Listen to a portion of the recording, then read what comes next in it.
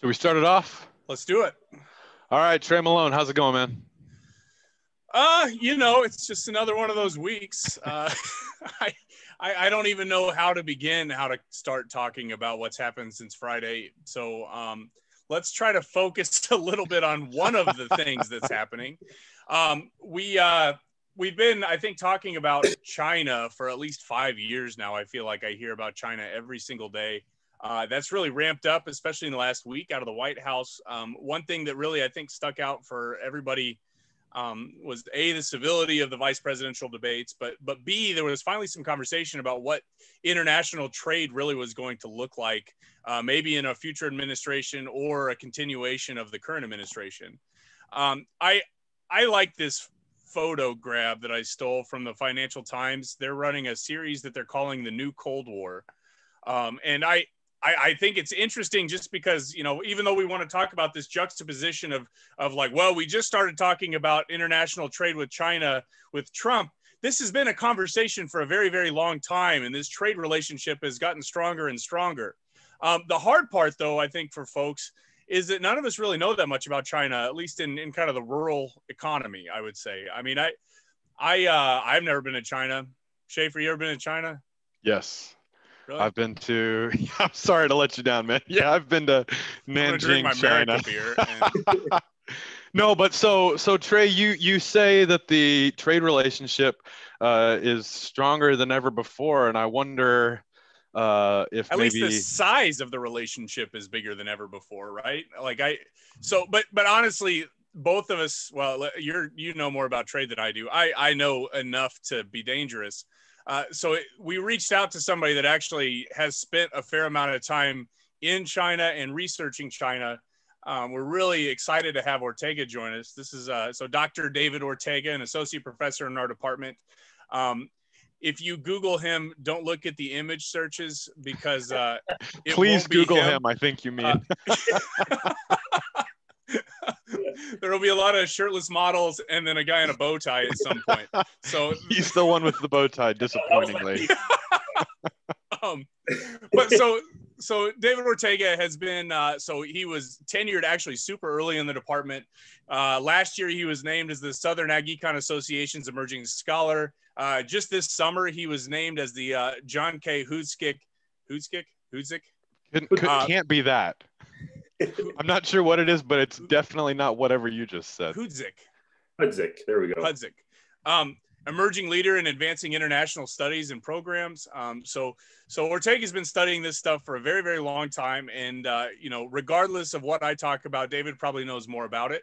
Uh, this is a screen grab of uh, of David on the NBC Nightly News. There at the beginning of all of the mayhem um, so he, I mean, it's it's been NBC Nightly News. What other places have you been popping up in? Uh, it, it, was it got pretty hectic there for uh, for a few weeks. There was you know CNN, a lot of the major news um, channels, um, you know, sort of talking about uh, more domestic issues, but but also um, you know how some of the China stuff was influencing um, what we're seeing here in the U.S. as well. So so Ortega I guess since you're the guy that's talked to all of the media uh, on this question, do you agree with Trey's point here that our trade relationship with China is stronger than ever? Well, I, so I don't I don't know if I would say that it's it's stronger, right? I think it's um, it's become very important um, in the last uh, you know few years, at least since you know this Trump administration has put a spotlight uh, on China, what they're doing, and in our trade relationships with them. Um, but you know, I think if you turn on the news, sort of like Trey was saying, you know, it's it's hard to go a couple of minutes without hearing China, whether it's it's the trade war, whether it's uh, COVID, um, African swine fever. Um, and so there's just a lot that's happening um, with China and our relationship with China um, that I think is important for us to, to really understand. Um, but also, I, you know, and I think the thing that sort of bothers me as, as someone that studies uh, China is, is there's a lot of misconceptions um, about China and, and, you know, what, what's happening there. Um, and so I think um, it'd be good to sort of talk through some of the things that um, I've experienced and, and come across in my research to shed a little bit of light on, okay, so what, what really is happening in the other side of the world and how is it affecting us here um, in the U.S. And, and you know we can sort of hone in on, on ag issues um, both there and, and also how they're affecting farmers and consumers here in the states. And so Ortega, you're you're I'm really looking forward to all these slides. You've got you've done like a really cool deep dive into what what food markets in China look like. Uh, I guess just right before we jump in there, uh, I'm curious as to your perception of uh, when we talk about trade, yeah, China's a big country with a big population. Um, and so we would expect we'd be exporting a lot of stuff there. Um, I, I, think there is this concern, at least in my mind, that mm-hmm. maybe China's different. Maybe these market signals don't work uh, when we're talking about China because of things like state uh, trading enterprises, um, communism. So, so before I guess we dive into the nitty gritty of what the food markets look like there, can you talk maybe about that regulatory and the state actors uh, and that how, how yeah, that so, influences this this? Right. No. So uh, absolutely. Right. So we have you know you couldn't have two vastly different countries from from a lot of different angles. Um, you know, political systems, um, you know, market size. We're talking a country that's you know, almost 1.4 billion people, right? Um, you know, four times the, the US population. Um, the way that they do, um, you know, diplomacy and policy is drastically different, right? Um, you know, the political system, um, you know, communist revolution took place in China a few decades ago, right? Totally different from what we have in the States. Um, and sort of the input and, and you know, the fundamental values of, of what we have in our democracy here are just vastly different. Um, and just looking at the market size, right? So 1.4, 1.3, 1.4 billion people, anything that happens in China is going to affect the US. Um, whether it be market opportunities, whether it be um, when we're looking at imports of agricultural products into the US from China, right? What happens there? Um, domestic affairs in China um, with you know issues in the rural economy, food safety, that's going to affect our the safety of our imports and our food that's coming from there. Um, and so um, you know, I think it's um, also important to look at, you know, you're talking about some of these uh, major players, right? So, um, you know, there's a lot of parastatals in, in China, sort of government arms that are responsible for um, issues of, of trade. Um, um, one of the cereal company of, of China, sort of a parastatal there. They're the ones that deal with import and export of, of grains, right? That are affecting um, global markets, that affects um, trade relationships, and, and they're the ones that set set that in motion, um, which is you know vastly different from what we do here um, in the U.S. and um, sort of the free market aspect of, of our trade relationships. So I guess I just think about like the the phase one trade deal mm-hmm. where China says we're going to buy X number of uh, X value of, of U.S. agricultural products. Uh, and if it was any other country than China, that would be an almost nonsensical statement, right? Because they say, yeah, maybe we'll change the regulatory environment, right. uh, but but firms and people decide what to buy. Right. In Here's, China, it, it's not a crazy thing, right? Yeah, no, I mean that's a central government. They're making decisions on behalf of the country with, um, you know, and there's the um, you know, in Beijing, you have sort of the, the you know, the, the party that's running the, the government, but there is no input. You know, there are no senators that um, reach out to constituents and, and there's, you know, that type of representation like we have here in the US. Um, it's, you know, the party decides, um, you know, what's in the best interest of the country. And then, you know, they put that forward in um, some of these types of uh, trade deals and trade negotiations. But so okay, so so we have you say it's a big country. People are like anything China does is going to affect the United States. But what if we played this game where like all of a sudden we just uncouple supply chains from China to the United States? A, is that even possible? And B, what would that look like? No, whoa. So, um, okay, you you go Ortega. Um, well, so you know, I think it's the world is so interconnected, right? That it's going to be very difficult to, to uncouple ourselves as a country from what's happening in China. Um, you have supply chains, you know, sort of working um, in tandem. And, you know, it, I think it's going to be very difficult to, um, you know, sort of become independent from, from what's happening in the country. And I don't know if that's sort of what you were alluding to there, Trey.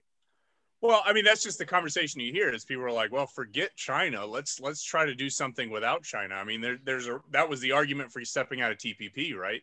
Was that, and, you know, and, and I don't. Yeah. So to me, you know, that might those might be great sort of political talking points, but the reality is going to be drastically different. Yeah, I just want to. So that's, that's the point of the into. of the we that I was making there, where in the U.S. we have a free market system where firms and, and individuals decide who they want to play with, right? So we can be in the Trans-Pacific Partnership or not. Uh, and that kind of sets the regulatory framework but it's individual traders individual um, growers that decide what things they're going to grow where they're going to send what. In china it's inherently different.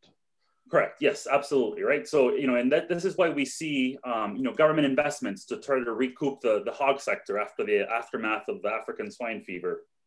Um, and there's sort of there's a lot more um, it's it's a lot it can be a lot more directed right? And, and it's uh, and you can think of it as okay maybe it's more efficient you know democracy can be very inefficient at times um, but you know if it's sort of what alex was alluding to it's, it's a very different system. Um, and that really affects you know what they're able to do and to the extent that the government can step in and, and take care of um, what they want to accomplish. Let's so, do it then man. Let's dive into the the system. Okay Sorry, Trey. Did you have something smart that you needed to get off your chest? Well, I had a thought, but we can keep going. So, okay, so um, yeah, so this, you know, this I to me, this figure, I know it means probably nothing right now to anybody. Absolutely uh, not. Fact. But to me, really highlights the difference between um, the agricultural economy and what's happening in China and how different it is from the US, right? So this here, um, it's a very famous line, um, the Tengchong He line. Um, we can just call it the He line, and that's what some people call it. Um, it roughly divides the country into two equal halves. You know, the, the yellow on the western part is um, slightly bigger than um, the eastern portion, but just think of it as 50-50. Geographically. Uh, geographically, yes. Yeah, okay. in terms of land area and, and yeah. uh, 94% of the population in China lives in that red area. Um, and that is also where a lot of the agricultural production takes place. Um, so if you think about, you know, this graph versus, you know, what we have in the US, right? So our population centers are on the East and the West Coast. You know, you have some, the Great Lakes, uh, Chicago, some major metro areas, but um, population and agricultural production in the US are in opposite ends um, sure. geographically, right? You have a lot of, you know, the Midwest, um, where you don't tend to have as large population centers as you do in, in, in, the coasts. But in China, you have agricultural production and the major population um, density and population centers practically coexisting and living side by side. Um, and so there's, you know, approximately six, it's increasing a little bit um, just 6% of the population living on the western part of China. Um, David, and, am, I, am I right that there's some, some ethnic distinctions between these two regions too, or is that not right? So no, no, not necessarily with regards to this map. Okay. Uh, but there, you know, there's uh, over 50 ethnic minorities in China. Um, you know, Xinjiang um, and, and sort of the Uyghur minority would be in the northwestern part of the country, um, okay. sort of on that northwest part of, of that uh, yellow part of, of the graph. Um, Tibet um, also takes place there, um, sort of in the southern part of, of the yellow portion, uh, southwest.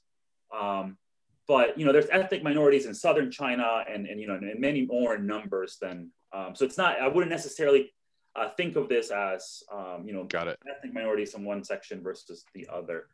Um, but what's, you know, and so why is agricultural production taking place um, also in, in the eastern part of the country?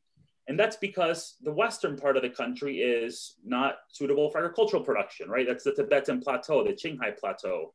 Um, beautiful country, um, but you can't grow anything in it. You know, there might be uh, yak herders, uh, you know, and in the Tibetan Plateau, um, but that's not, it's not really suitable for, for ag production. And, um, you know, you tend to have pork farmers, um, crop farmers, um, you know, very close to highly uh, or densely populated areas. Um, so you start to run into um, issues, you know, in, industrial effluents getting in the water supply that's used to irrigate crops. Um, you tend to have, you know, farmers, you know, disposing of um, you know, agricultural waste that gets into the water supply and, and starts to create, you know, pollution problems. Um, soil pollution in China is a huge problem. Um, cadmium contamination, right? Heavy metal contamination from, from having, um, you know, industries operating near um, agricultural um, operations, you know, make, make that, that is, you know, have really made that a, a big problem for, for uh, not only consumers in China, but the products that we get from China to, to come to the, you know, that get imported into the US. And, and how about the, the structure of the agricultural industry? So I have in my mind, and maybe I'm completely lo- wrong, a whole bunch of little bitty plots, whereas in the, in the mm-hmm. US, uh, mm-hmm. our, our farm sizes are approximately ginormous. So, you know, I think that, um, yes, so there is some um, truth to that, but it varies by industry. Um, and, and, and it's also it's evolved very rapidly. Um, so, you know, I focus most of my work and research in China on the hog industry. Um, and if you were to go back, you know, 20, even not that long ago, 15, 20 years, a lot of the hog production in China was done at the backyard level. Mm-hmm. Um, so the farmer with, you know, three or four um, hogs, um, you know, behind in, in a, you know, right behind his house, that has come, you know, we, I remember um, writing about, you know, 60 to 70% uh, of hog production took place in backyard style um, operations. Well, that's drastically decreased, right? I've been to, um, you know, big pork um, hog rearing facilities outside of these major cities, and these are state of the art, um, you know, facilities, um, huge farms, hog operations, um, you know, we saw Smithfield, right? There was a big takeover back in 2013 with uh, Hui and the White House Group. Um, that is a huge conglomerate. It's a big agribusiness firm, right? Um, but when you go um, to southern China and you're looking at rice production there, yeah, you have the, you know, some farmers with their small plot. Um, and, and a lot of this is also tied to the land tenure system in China, um, which is drastically different from what we have here in the US. Um, so um, you know, in China, farmers don't own the land. They own rights to the land. Um, and those rights, um, you know, and, and, that, that's the case for all type of um, land use, whether it be residential, industrial, agricultural. Um, and the leases from the government are vary in, in, in, in, the number of years. And I think for agriculture, you know, don't quote me on this, but I think it's a 30 year lease. and the government can always buy it back for, you know, things that they, they think are in the public interest. Um, but that also poses um, constraints on farmers. Um, so for example, um, you know, there are transfer rights that have emerged in the last uh, few years where a farmer can transfer his rights to another farmer and they can sort of build their operation. Um, but when it comes to getting, say, an agricultural loan or a loan for a bank, you can't really use those. You can't use your land as collateral, um, or at least that's you know I think there, there's this is always an evolving process. This, this uh, land tenure, land right issue, um, and so you know there was a there was a communist um, takeover in China, and um, it, you know they sort of appropriated um, the land, and they sort of divided it up into the your household responsibility system, um, and so.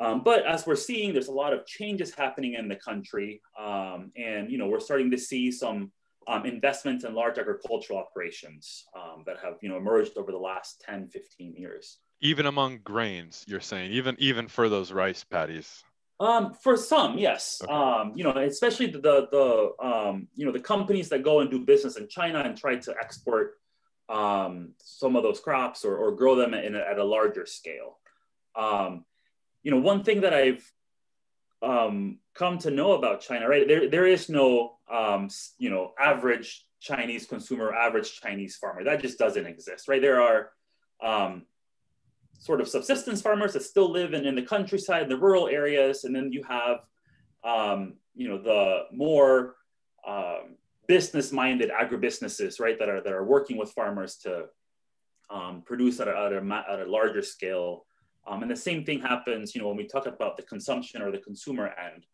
Um, there's rural um, consumers versus sort of the urban consumers, right? And, and their preferences are drastically different. Their income levels are drastically different.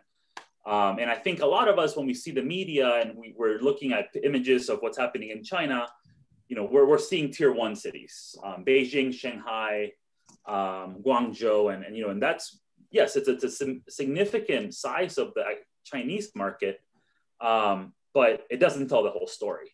Um, so, so I guess when I think about the implications for the U.S. in terms of what you describe, and, and maybe it's fine if I'm if I'm wrong. Feel free to correct me. But you're saying we have in, in, pork, for example, these major operations which are really efficient, modern producers. Uh, in in some of these grains, those tend to be dominated by the more subsistence people. So in terms of looking at trade relationships, I would expect um, our competitive advantage to be on that feed supply right? Which is which is traditionally i think what we've what we've seen. We've seen soybeans uh, as the major thing we're sending to china. Absolutely. at the same at the same time now when you look at the numbers uh, just for 2020 for example and, and i look at where stuff's going gangbusters it is pork that's going like crazy. Is that is that the result of the swine flu or swine fever, sorry, uh, or the trade war uh, commitments? What's going on there? So okay, there's a there's a there's a lot to unpack there.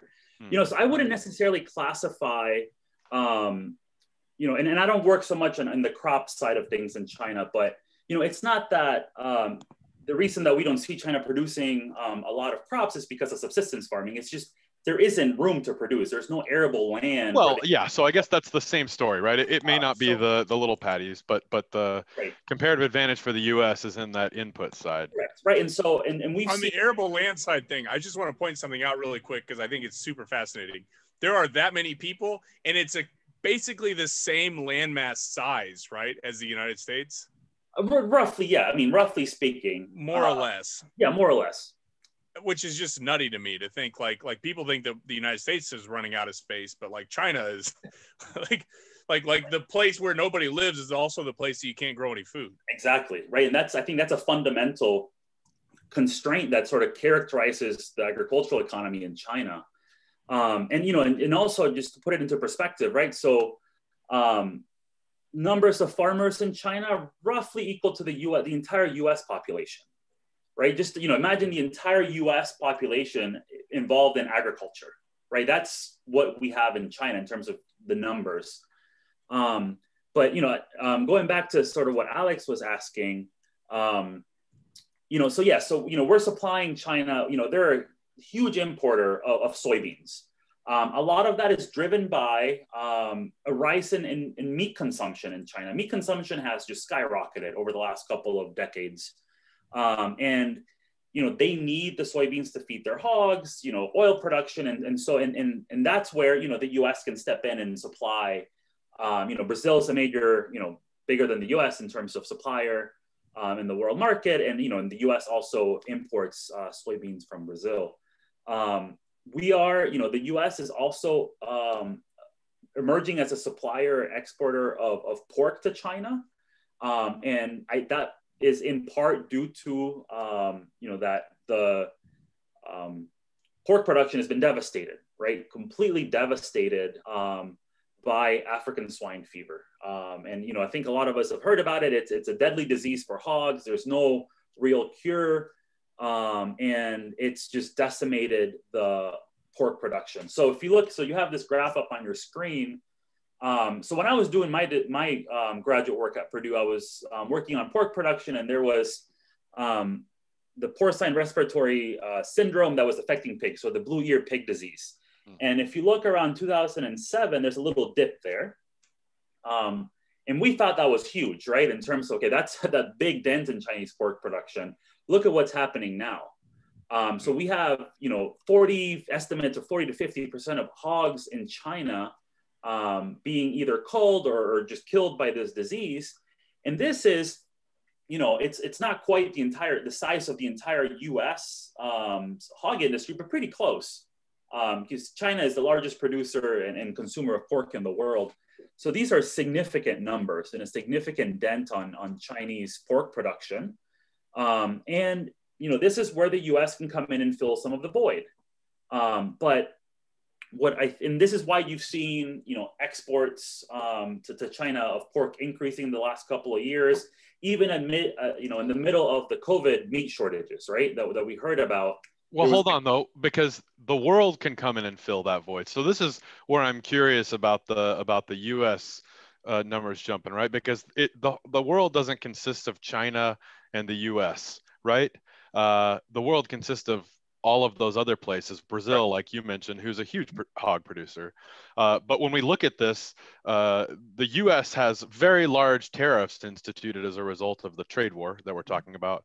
And yet we see this massive increase in numbers of pork uh, exports to China. Is that, are we seeing the same responses in Brazil as well? And so this is just on top of the tariff war, or is this something else? But so keep in mind, so the, the tariffs were the retaliatory, retaliatory tariffs that the Chinese put on U.S. pork. That's right. Imported into China. Right. Um, and so, but they're also facing right a very a domestic crisis in pork production, and so there they they've there there have been these. Um, I don't know if they're side deals. You know, I'm not into in you know in in the um, what's happening with the actual trade negotiations, but you know they've committed to buy um, this amount of pork um, as a one-time purchase um, from the U.S. to help fill the void um, that you know that they're seeing from from um, you know African swine fever. Do you uh, happen to know just off the top of your head what the numbers look like from Brazil, for example, or from other regions besides the U.S. in terms of China? exports to China? the bump in, in in exports as a result I, of the ASF? Numbers. I mean, I can play. I have you know I don't have them off the top of my head. Sure. But you know, but they they're they are reaching. You know, they're importing from Brazil, from the EU. It's not just the U.S. Right. Um, but what's I think key about the U.S.'s um, ability to um, to meet that demand is that so the Chinese have you know they they invested if you want to think of it that way right when when they um, they purchased Smithfield back in 2013. Um, there's already, you know, it's it's they're still operating in the U.S. It's owned by a Chinese firm, um, and so there's a channel there in place. Um, there's other wonky things happening with the trade uh, the trade of pork with between the U.S. and China. A lot of it is centered around this feed additive ractopamine, um, which is, you know, at least 10, 10 20 years ago was predominantly found in, in hog production and it's just it, it's a, um, a feed additive that makes the the animals produce um, they're more efficient at producing leaner leaner meat um, the chinese don't like it um, and they are banning um, not only the us but in canada any countries that, that produce um, the products you know they're not wanting they're testing the shipments at the board uh, when they come in and if they're testing positive for this they're sending them back well, so you know, Smithfield, they have dedicated facilities that are ractopamine free that are destined for the export market to China. Got it. Uh, that makes some sense to me if there's uh, some some technical standards there. Yeah, yep. so, there's there's you know there's that at play as well. Um, but you know, unfortunately for um, our hog producers, for American hog producers, right, we saw um, African swine fever um, increase Chinese import of demand for for pork um, but then you had the tariffs in place, right? So the, it, it, was sort of a missed opportunity um, where the U.S. Um, hog industry couldn't really sell their products to China when they were in need of this because of what was happening with the tariffs. Um, same thing happened in beef. Um, so there was a ban on beef for about 14 years. It was um, lifted a few years ago, and this is going back to mad cow back in the early 2000s. and it was, you know, beef demand in China is growing extremely rapidly. Um, it's still low compared to what you know aggregate pork demand is in China, um, but it's growing very fast. And, and then you had the Chinese putting um, tariffs on American beef going into China, right? So it's also it, it, it's um, you know it's really unfortunate because we were positioned um, very well to, to sort of meet that demand and you know except for the brick wall yeah exactly yeah um, can you so can I'm I want to ask a really dumb question.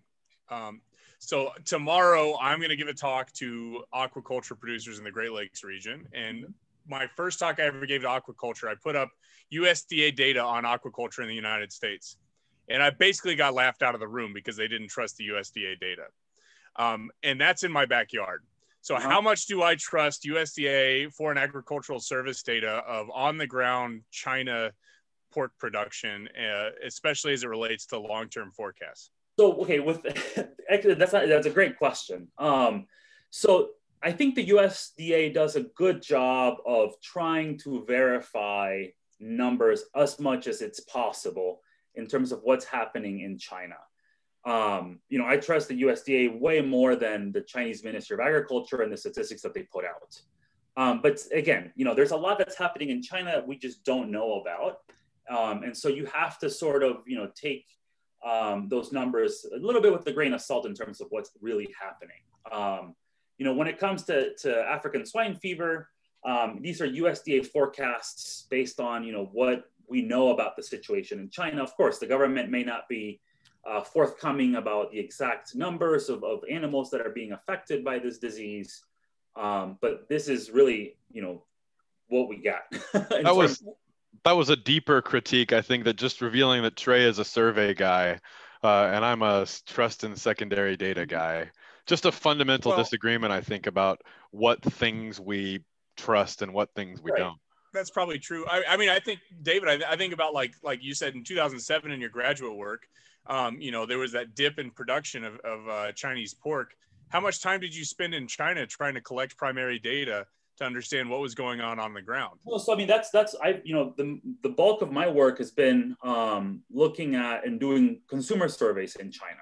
Um, you know, so I've spent um, you know, it's been over 10 years working in China, not, you know, 10, you know, full time, but, you know, I spend months at a, uh, a year in China doing surveys. You know, when I was a student, I was doing them with other graduate students there that were helping me. Um, now I have, um, you know, graduate students working um, on China topics, going out and collecting data. Um, and so that, you know, that, that's why it's important to, you know, when we're looking, especially at marketing in terms of what's happening with consumers, um, you don't get that very fine level data where you can segregate okay what are urban consumers doing that's different from you know even yeah. urban consumers. Tier one tier two cities are drastically different in their ability and, and willingness to pay for things. Um, and that's why it's important to, to be on the ground collecting this type of data. Um, Dude, I, I want to go to the consumer side so bad, but I just have one more question uh, on the producer side, which is I'm hoping uh, because you've got so much experience with China, you can a little bit look into your crystal ball and tell me we know ASF is still a problem. And yet we know that for the US, we've still got this brick wall coming into China. So, do we see those uh, production stocks being built back up in China? Do we see the U.S. somehow responding uh, through these sustained increased uh, exports? Do we see Brazil saying, we get it. All we need to do is eliminate ractopamine, and then we get access to this huge market. So all of the above, right? Um, so what, what, That's not a fair answer. all of the above, right? It's, um, but you know, what I think is important to note here is, you know, the, the recovery is, is already underway in China of the pork sector. Um, the government is investing, and there's not just government investments, but um, you know, private investments in hog production. Um, I mean, it's it's really mind blowing the amount of money that's going into the sector to to recoup and, and sort of recover from um, from what um, they went through in the last couple of years. Um, with the U.S., you know, I think um, when we look at U.S. pork in China, and this is I've done a lot of work on demand and preference, and I'm not trying to go to the, the, the consumer side, um, but you know, consumers view U.S. pork as being very high quality and being very safe, and food safety is one of the the most important um, concern in the mind of Chinese consumers when it comes to food. Um, and so, you know, we have yeah, we have this brick wall, these tariffs, but um, you know, if and, I, I, can't imagine they're going to be sustained for, for a very long time. Um, you know, once those tariffs start to come down and we have access to um, their market, I think that the U.S. Uh, in at least in pork, which is what I focused on, is well positioned um, for the Chinese market, and then also is. Um, and it's a you know China when it comes to demand for pork is a critical market for the U.S. hog industry um, in terms of keeping you know the profitability of the U.S. Um, hog sector up. You don't happen to know what's going on with ASF right now, do you? In China? Yeah. Um, I mean, so, yeah, not. I I know it's in Germany too, and it's popping up in all these places. But but what's the current situation? So I mean, I've heard, um, you know, there's been some reports of um, vaccines being in, in in the works for this. Um, I've seen proof of concept for um, bringing in biotechnology to um, to make you know animals resistant to this. Um, and you know the, the, Chinese government is taking this very seriously from just even a, a food security um, uh, perspective. Um, but you know it's I think you know and I don't want to it, it's hard you know I don't want to come in here and then predict something and then you know the bottom falls out tomorrow. But um, I think we've seen the worst of it. Um, it's you know that's my feeling and my sense. Um, but you know, but it's really hard to to know. And and you know, I think the amount of investment that's going into recouping and recovering the sector is um, an indicator um, of that.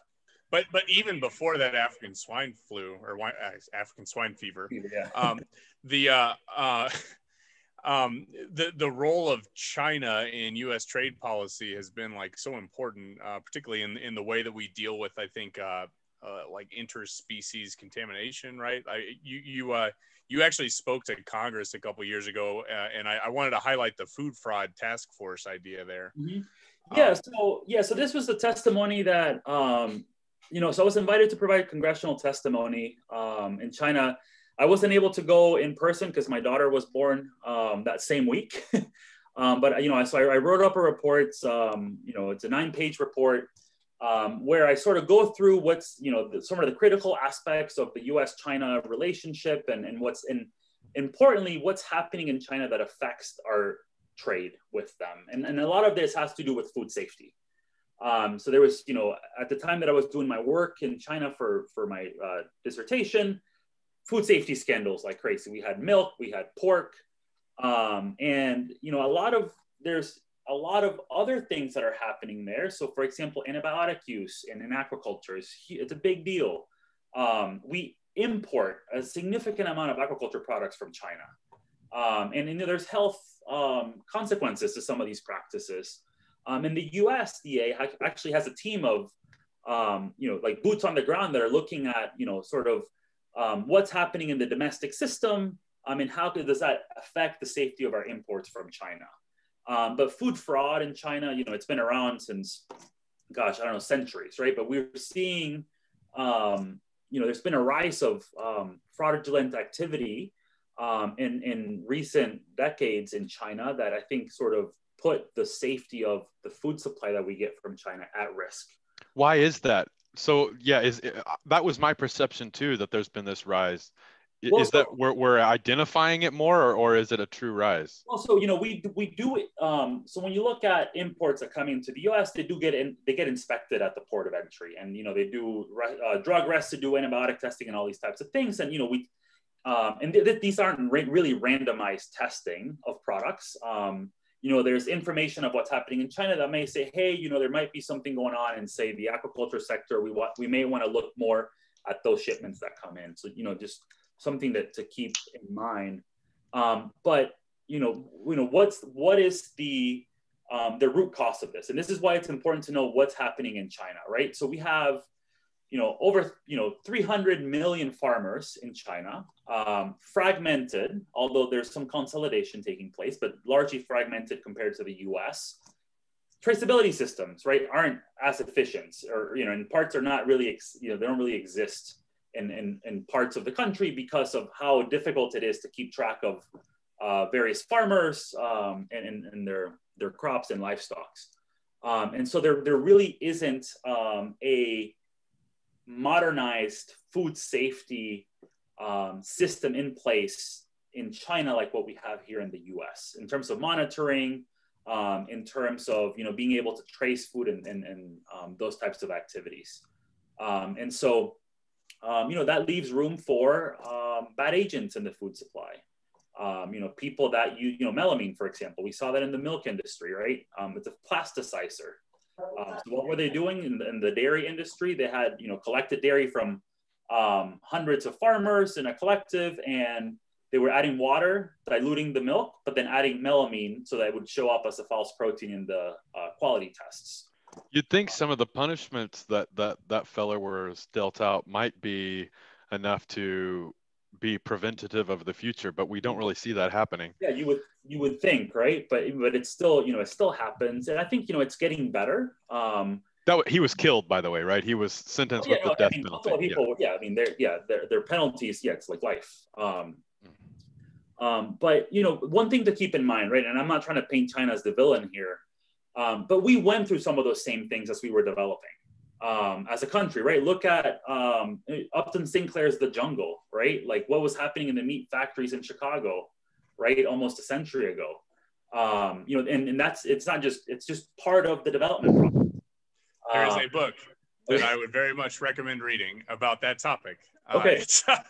Uh, um, there's actually also a PBS special that just came out. It's called The Poison Squad. Okay. Uh, but it's it's exactly about what you're talking about that like like we talk about like uh, you know food fraud and dangers and additives and everything else in China, but if you step uh, 50, 60 years back into the United States' history, I mean the development of the FDA was all primarily focused on trying to reduce issues with food additives and things like uh, dairy milk for kids, mm-hmm. um, uh, even whiskey. Uh, so so whiskey was a big issue for a long time. Um, so yeah, I mean you're absolutely right that. They, like pe- people talk about it like like this is all new, but like we we've been there before. It's just it was a long that, time ago. You know, so we did. You know, we did our we went through the development process, right? Um, and I'm I'm not a development economist, but I am skeptical of the kind of development curve type stories. But I, I take your point here that the kind of institutional capacity is is at a different level than it is. And, and stylizing a bit, right? Um, yeah. For generalizing, but you know what what took the U.S. you know a century or more to go through, China's doing in a few decades. Um, and that's you know and, and you know I, I, think for me what what intrigues me and, and what I love about my work is that I'm watching it happen, mm. right? I, have seen you know it's I kind of wish I, were, I were around you know maybe 40 years ago um, as a researcher because there was that's when it really you know picked up. Um, but we're just happening. We're, we're it's happening now. We're seeing it. China's a huge country, um, so it's a big deal. And and you know we have um, news media now. You know that wasn't the case you know centuries ago here in the states. Um, and so we're, we're able to, to see and, and hear about these things. But you know this wasn't just common to, to the U.S. You know if you go back to to Europe, right, Victorian times. You know and and there's a great paper by one of um, my mentors that works at USDA, Fred Gale, where he talks about you know Victorian England went through issues of food safety and food fraud. Um, you know, many. But many... let's let's let's let's take it a step toward where we currently are. This mm-hmm. I think this figure or this photo is pretty good because, like like yeah, we we could compare to what like how people ate maybe you know 100 years ago in the united states but like there's this weird mixture right of of like like the the wet markets, which we'll talk mm-hmm. about here in a minute, but also just like the standard fast food service that you and I could get down the street, but it's not really the same thing. Well, but right. that's the, yeah. Sorry, I'll let David answer. But to me, there's a, we're talking about a couple different things, right? Say I want to buy your development curve argument. That's part of this sucker. Yeah. This is different consumer preferences. I think is the story that right, but it, it's driven by rising incomes, right? It's driven by the shift from rural to urban areas, right? And, and the rise of the middle and upper class in China. Um, and you know, and what what this highlights, right? So this is KFC, um, and KFC is, um, it, it's almost it's hard to describe how popular KFC is in China. Hmm. Um, it is in just about um, every city. I think there's something like five over five thousand locations um, throughout the country. When you know when they were picking up, you know they were building a KFC like every couple of days in China. Wow. Um, and what's what I you know and I I use this as an example in, in the class the undergraduate classes that I teach because it highlights you know the importance of understanding the Chinese consumer. It, it's key to the success of KFC. Um, so you have Burger King in China, you have McDonald's, right? You know, Burger King, there's only a, a few hundred stores. Um, McDonald's, uh, you know, I think around two to 3,000 stores. Um, McDonald's in China is selling the American experience, right? You can go get, um, you know, the same number two in, in, the US is probably the same one in, in, in China. But KFC has really catered their menu and their offering to the Chinese consumer. Um, so here we have on the left, you know, so that's sort of, um, it's like street, uh, night uh, market food that the KFC sells. Um, you know, I've worked in Inner Mongolia, sort of the nor- northern province in China, and you know, you have very traditional food at the KFC um, uh, menu there. And then you go to southern China, rice becomes very uh, prominent, and, and they've really tailored they're offering to the Chinese uh, consumer. Um, and you know, and, and and you know, people go to to KFC to hang out. It's kind of it's it's, it's kind of what Starbucks used to be, you know, 15 years ago. Um, when I was in high school, everybody just went to Starbucks to hang out, and you know, you had meetings at Starbucks, and um, you know, that's what sort of KFC is now for for a lot of um, Chinese consumers. Again, we're talking about upper middle class. Um, you know, we're, we're, we're, neglecting a significant portion of, of the country in, in this type of discussion. Um, but I just, I find it fascinating um, that, you know, when, when you look at a company sort of really understanding those consumer preferences, right, it led to an explosive growth um, in, in sort of their business and uh, yeah. So, but I mean, that's a story that people have been saying forever since we started talking about international development or, or international sales in general. Like, I remember when I was in college, everybody was talking about Walmart moving to um, Germany mm-hmm. and how um, they would put the greeters at the front of the Walmart and uh, the greeters would wave at people and smile in Germany. And the Germans absolutely hated every moment of somebody smiling at them and waving at them. Um, and so I, so it didn't work. Um, and, and so like when I think about moving into China, uh, understanding consumer preferences being different is, I mean, that's, it's like, a, okay, yeah, we all know that that should happen. Uh, but what what is different? What what do Chinese consumers actually want that is different than what we currently provide in the United States? So, That's a hard question. Great question. Great. Dave Ortega's whole career, right? Like, like how many papers do you have on that? Explain topic? your career, David. I mean, really. So you know, we talk about you know just understanding um, you know just culture in general, right? So the food culture in China, people like variety. You go to a dinner in China, you know, uh, Alex, you've been there. It's, you have these banquets, right? It's like tens and twenty, you know, dishes that are just coming out and um, so, you know, when you look at KFC, for example, right, their menu, and I'm, I'm, really thinking about some of these case studies that I've used, I think it's something over 50 menu items in a KFC in China compared to like 20, 30 in the US. Um, and so, you know, they're, they're really catering to, to um, you know, sort of that the inherent differences in, in consumer preferences and how they view food. Um, you know, it's um, when you look at, and, and to me, you know, so KFC, I, I wasn't, I didn't grow up a fan of KFC. Um, I mean, I went to it every once in a while, but it wasn't like the McDonald's or the Burger King outings that we had as a kid um, growing up. Um, but in China, um, you know, they, they've really, it's not just, oh, you know, we have the one or, or two um, local uh, food items on the menu. It's like the entire menu is drastically different. Mm-hmm. Um, you know, it's um, it's a complete overhaul and a complete sort of alignment with with preferences and what's happening um, there. I guess I'm thinking some of the the types of foods that they eat uh, mm-hmm. are, are, things that we kind of consider byproducts in the U.S. So is that is is that true? In Maybe that's ten years old. In a way, right? But but for them, yeah. But for the you know they don't from from the Chinese perspective, that's just what they know, right? They don't know that it's you know that they people don't eat those types of, of you know uh, protein cuts or whatever what have you in the U.S. Um, and you know, and, and going back a little bit to to the pork discussion, right? So what I think really made sense for um, the US hog industry, right, to, to, pursue China. And at the time that I was doing a lot of my graduate work, what I was finding in these consumer surveys is that preferences for pork in China were complementary um, to, to, preferences for US consumers in terms of pork.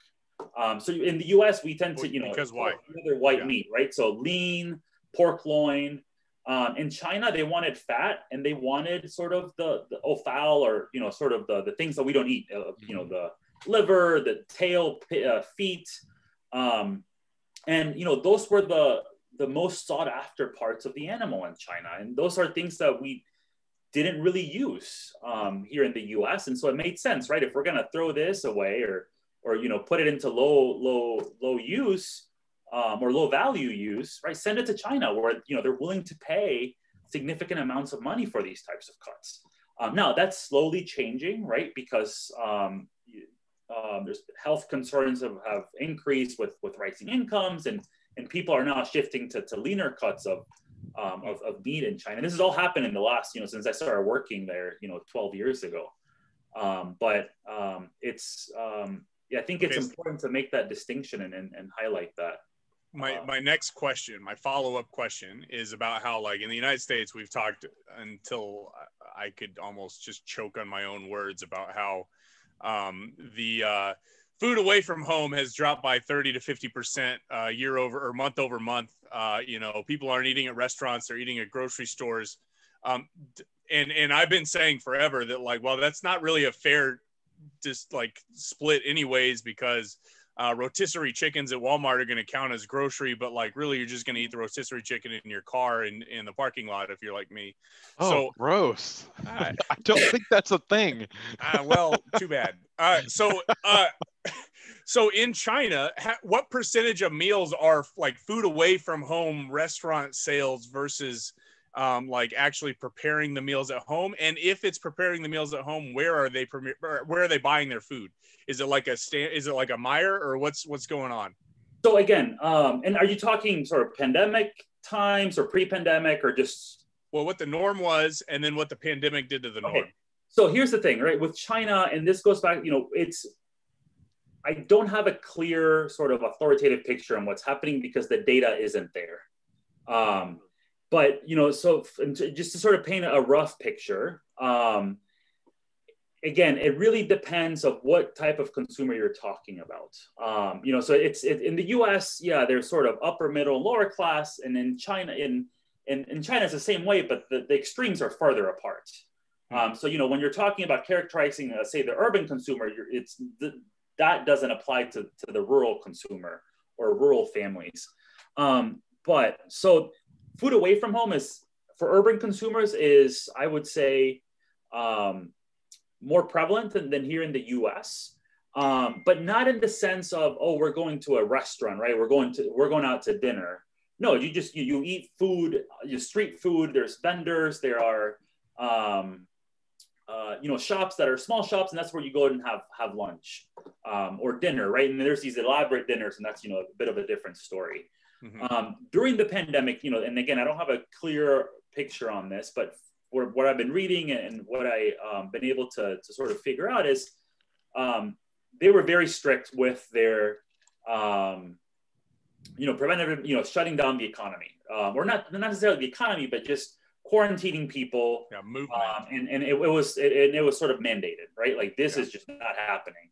Um, and so from that perspective, right, there was a significant shift um, and you know, people were sort of um, rationed in terms of when they can go to the grocery store and, and those types of things. Um, so it's it's a lot the that contrast, which I think it, it was starker in China than in the U.S. But again, right, the population there is more used to having these types of higher level um, actions being imposed in, in a time of crisis than than we are here in, in, in the U.S. Well, let's uh, let's pivot into the pandemic then, because I mean, when we think about food in the pandemic, at least the first thing that people started talking about in like March was this idea of wet markets, mm-hmm. right?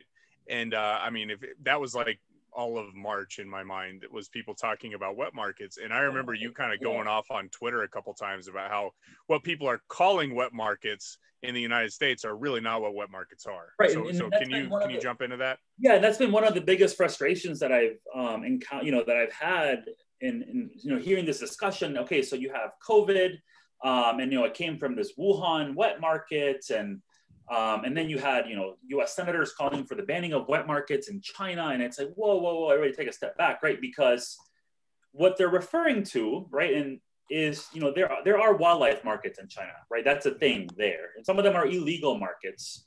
Um, there are wet markets, um, which and you know there is some overlap between the two, but it's very very minor, right? You may have a wet market that there might be another um, uh, facility near it or adjacent to it that is that is selling illegal wildlife or or live animal products, and um, there are some significant issues with those, right? But by and large, wet markets are where the majority of consumers in China go and get things like pork, things like poultry. Um, yeah. I and- guess the difference is so hard for me, David, that I don't even know what the distinction is. So, assuming that this thing came from bats, uh, is that something that you're talking about would be in a wildlife market, or is that in this thing you're no, describing so as a wet be, market? That would be in the wildlife market. I've okay. never, I've been, and I've spent, um, you know weeks if you combine the time of you know it, just observing wet markets in China and doing research and you know interviewing consumers there with with my team of um, enumerators. I've never seen a bat in, in, a wet market in China. Um, you know, and, and I, have been to wildlife markets, um, but they're, they're, not when I was at a wet market. Um, and so just to give people an idea, of a wet market, you know, people call them in the U.S. farmers markets. Well, I think it's a, I think that's definitely a better characterization, but the majority of U.S. consumers don't shop at a farmers market, right? Yeah. That's sort of the distinct. That's where I okay. That's where I don't like that that characterization. So here, you know, this is from a, a survey of consumers that I. Um, this is in Beijing, I believe. Um, so urban consumers, um, and you know, nearly 50% of them, and this is back in 2015, um, procured pork. This is about pork from a wet market, and this is in Beijing, a major urban tier one city right? If you go to tier two, tier three cities, these numbers are going to be much higher for wet markets. Um, and so, you know, I think it's it's you know it's very dangerous when you know we start and, and see okay, this is what's happening in China with the virus, and then start calling for banning of things um, without really understanding you know how crucial they are to to um, the local uh, food economy because that's you know wet markets are where the majority of consumers get um, you know procure their, their products. So this photo on the left there, of you. Yeah, you yeah. Could, so that's is that a wet market? That that, that would classify as a wet market. Um, and so this you can tell me you were at a hipster spot in, in Brooklyn, and I would believe. No, no, no. I'm fairly sure he is. Uh, yeah. no, so this this is a pork seller um, at a wet market um, outside of Shanghai. Um, and you know, and wet markets can take different um, you know forms. Some of them are open air. This is we just happened to be it was covered. Um, but you know, like this pork seller, there's multiple other pork sellers. Um, you know, in, in this in this market, and it's a wet market because you know there's I think people have sort of um, different justifications for the name, but you know they literally um, you know it's not dried food, right? It's it's proteins, and at the end of the day, they go in with the hose and just hose the whole place down, right, to clean it um, before the next day's next day's operations. Hmm. Um, but um, you know, and, and but I do want to point out that there are some uh, safety uh, issues with wet markets in China, and they do need to be regulated.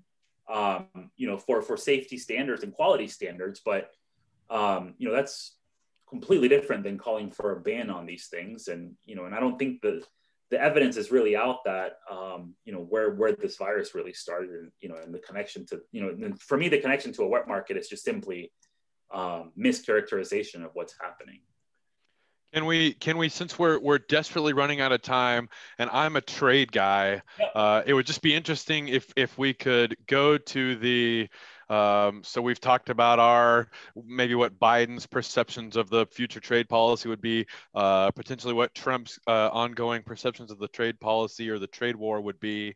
Uh, I wonder if you could speak a little bit about the Chinese perception uh, of the U.S. and the trade yeah. war. So, um, so we did. Um, so we were in the middle of, of the trade um, war intentions with with um, with China um, you know, we I put out a survey with um, you know Titus and the department. We surveyed Chinese consumers, um, and and you know, there's been a lot of like I think Pew and a couple other you know polling organizations in the U.S. have put out you know what the U.S. consumers think of of China and and the trade relations, but and so I'm like, well, you know, we don't really have a, uh, a good idea of what Chinese consumers think of, of what's happening. And so we, we surveyed about a thousand Chinese consumers on what they think was happening um, with the US. And, you know, and the numbers were very similar to, to what we have here in the US. Um, you know, they think that trade really is better um, for, for their economy, but um, only 62% of them find trade with the US to be favorable. Right. And, and then the US, I think that number is about 64% that find trade with China to be favorable. Um, or here it is 68% of America's current trade policy um, you know, they find it to be unfair. Um, and in the US, it's about 62%. Um, and, and so what I think it's key to keep in mind is, you know, this trade war, I don't think is, is benefiting anybody. Um, you know, when we, from basic economics, right, the deadweight loss is there. Um, we're seeing higher prices. They're seeing higher prices. Farmers are affected here. Consumers are affected there. Um, and so, yeah, well, so let's be clear of, of which actors, which agents you're talking about there. uh, for whom this isn't benefiting. By that you mean consumers and producers of of the products that are being traded, right? Correct. Yes. That leaves uh, out an important stakeholder there, which is the government. But but I'll let you keep going. I know. So, but um, no, but also but there's a difference between consumers and voters.